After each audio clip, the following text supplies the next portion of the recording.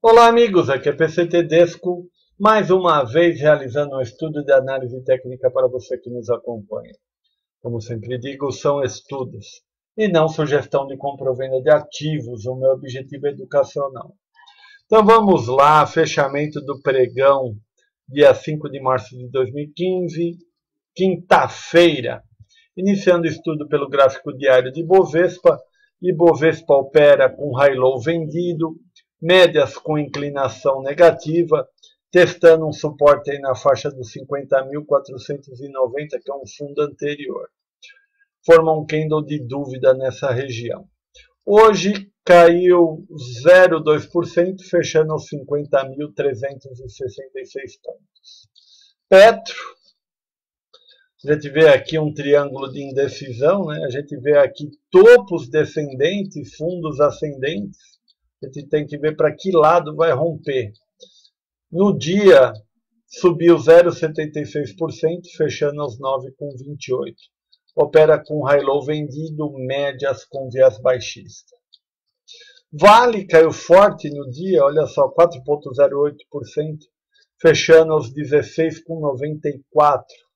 Está chegando numa região de teste aí de um suporte. Você vê aqui nessa região Lá atrás a gente teve uma abertura de gap lá nos 16,91.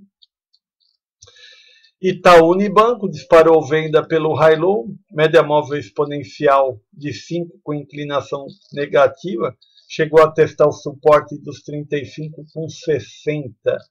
No dia caiu 0,88%, fechando aos 35 com 96.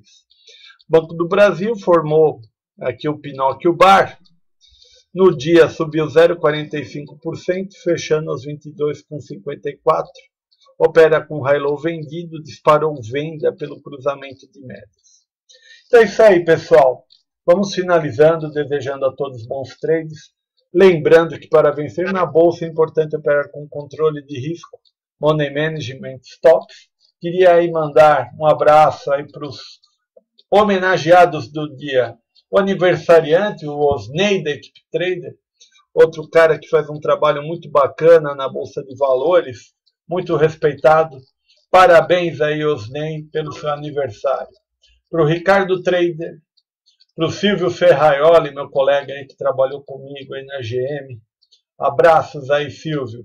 Outro colega aí da GM, o Ricardo Barros. Abraços aí, Ricardo. E também para o Fernando Penasso. É isso aí, pessoal. Vamos finalizando. Desejando a todos bons trades. Até amanhã.